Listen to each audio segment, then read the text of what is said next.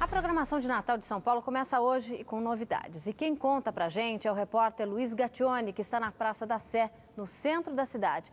Boa noite, Gatione. Como é que está a movimentação por aí? Boa noite, Rita. Movimentação pequena por aqui, viu? Eu acho que o friozinho de hoje espantou um pouco o pessoal. Ah, tem várias atrações aqui. A maior delas é este presépio gigante, montado a poucos metros da catedral. Outra novidade é a apresentação da Orquestra Sinfônica de Heliópolis. Tem também projeções de passagens bíblicas na fachada da igreja. Portanto, quem quiser aproveitar o finzinho da sexta-feira, é só correr para cá. A Catedral da Sé já começou a celebrar o Natal.